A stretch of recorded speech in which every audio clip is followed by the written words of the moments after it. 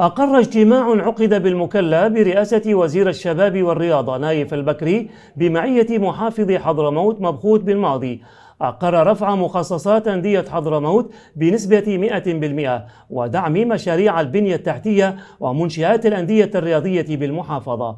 وناقش الاجتماع الوضع الرياضي بمحافظة حضرموت وأوضاع الأندية والاتحادات الرياضية وسبل الدفع بالواقع الرياضي وتفعيل النشاطات الرياضية والشبابية.